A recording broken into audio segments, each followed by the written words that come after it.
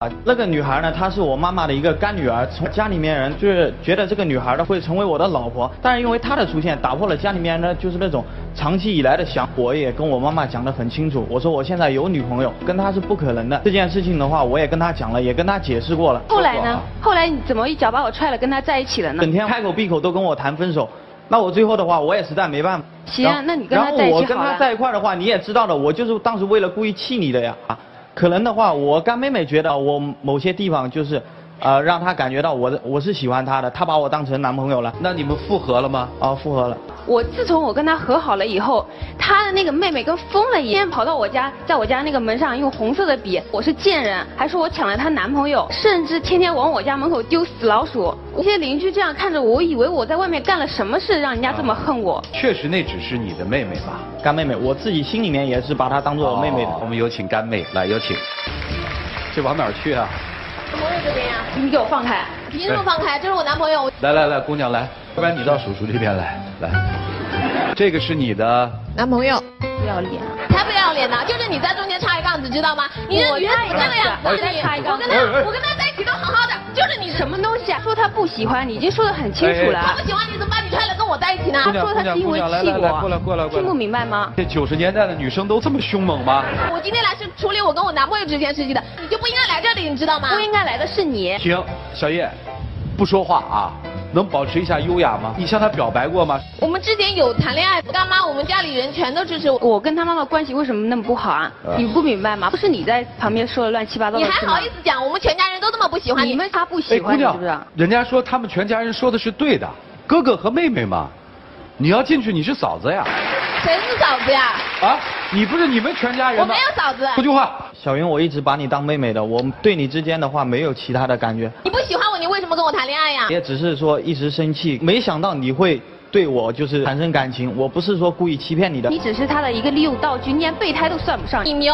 把你甩了跟我在一起。说话呀你。别吵了，你对我干妈怎么样啊？生病了，然后让她去看，然后她你好意思说干妈这才说了她几句，她甩脸就走。你觉得她爱你吗？爱你的是我，你知道吗？她爱你，她会那样吗那？不都是你搅和的？她？干了什么？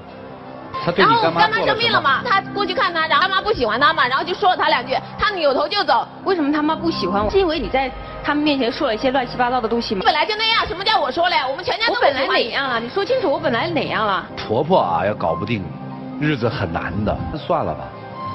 我也是这么想的。因为她天天在那个还在网上说说我什么小三，我抢了她男朋友，说一些乱七八糟的。我妈给我相亲，我都感觉对我有很大的影响了。我你也相亲去了？你都相亲了，你还来纠缠她干嘛呀？说话。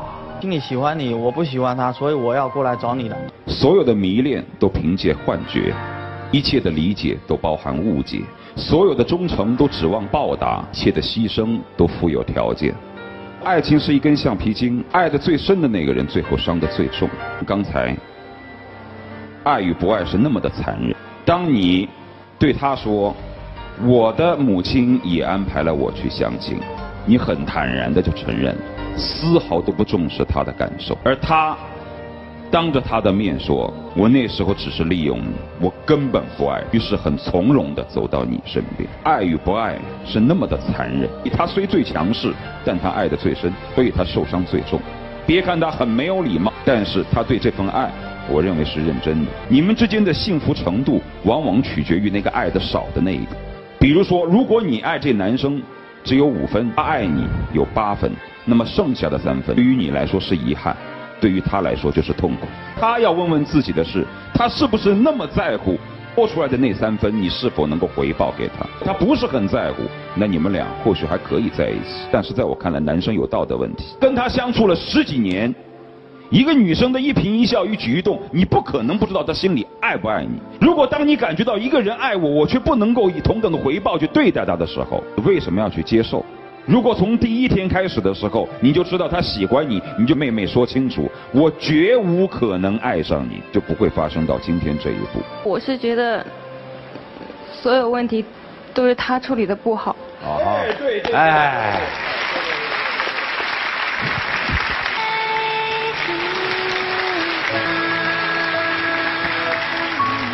突然，有时也怀念當初一起經已改變，让这天空将你我相连，怀念你。